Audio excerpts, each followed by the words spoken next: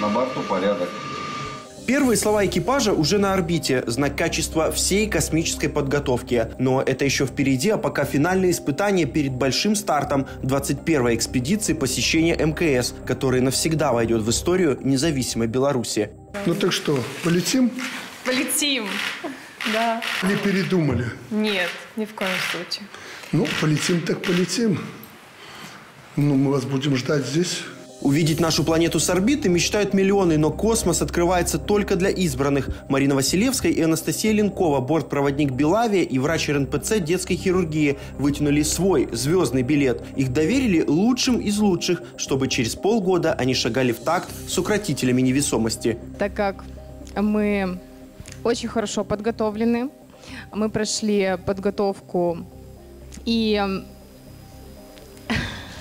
у меня очень опытный экипаж, а, профессионалы своего дела, поэтому я надеюсь, что все получится по плану. Они прыгали с парашюта, бороздили просторы в гидролаборатории, вращались в центрифуге и выживали в лесах Подмосковья. Ну и, конечно, выучили до автоматизма не один свод космических правил, отличные на каждый этап полета. Старт и посадка самые динамические, поэтому и так много внимания к работе экипажа именно на корабле «Союз». Это только на первый взгляд кажется, что люди в скафандрах сидят, перелистывают буклеты и тычут в кнопки на консоли. На самом деле несколько часов они будут на грани жизни и смерти. Поэтому сейчас в тренажере «Союз» они отрабатывают все не то что фактические, а даже гипотетические сценарии. Потому что там, в космосе, уже подсказать будет сложнее, да и выпрыгнуть в зал с коллегами уже точно не получится.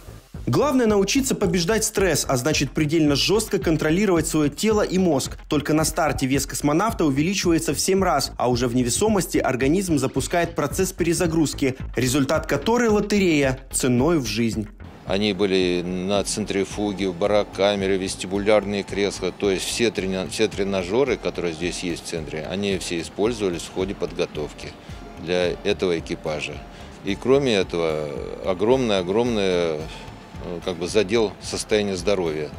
Тоже позволяет этому экипажу в такой вот кратчайший срок подготовиться.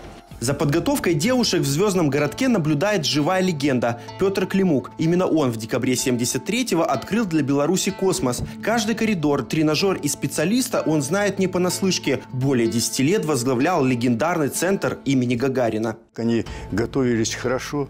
Э, те науки, которые необходимы для них знать, их научили этим наукам. То есть э, я просто доволен, что так все вот в центре подготовки э, хорошего мнения о наших девчонках белорусах. Тут же Петр Ильич попросит роль основного экипажа не возвышать. Он и сам на свой первый старт отправился в статусе дублера, поэтому с уверенностью заверяет, в ЦПК уровень подготовки у каждого на высоте. Экзаменационная комиссия оценку Климука только подтвердит. Оба сдали на отлично. Для того мы и дублируем, чтобы иметь возможность э, при э, какой-либо ситуации заменить э, основной экипаж. Поэтому, конечно, морально мы все готовы, мы для этого здесь и находимся, и для этого сюда пришли.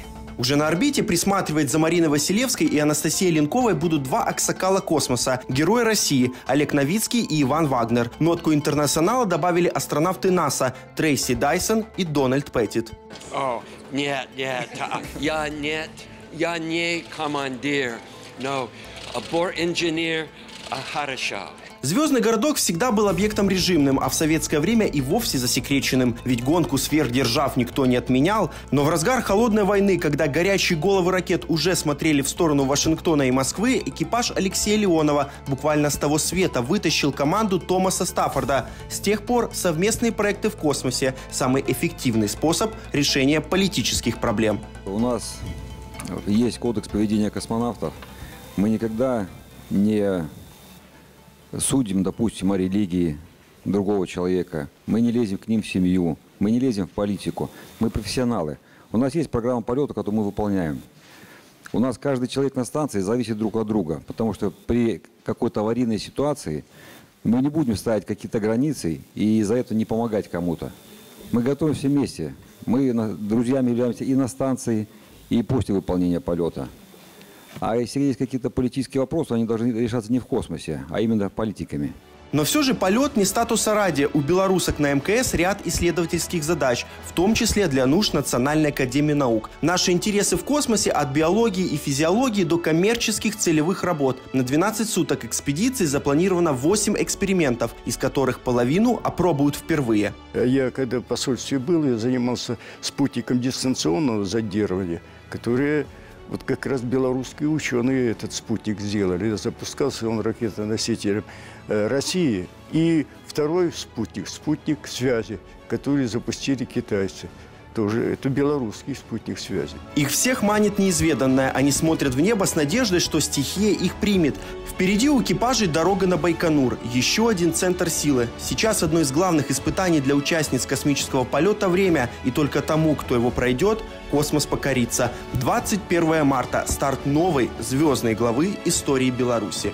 Константин Герцев и Николай Ковалев. Неделя СТВ.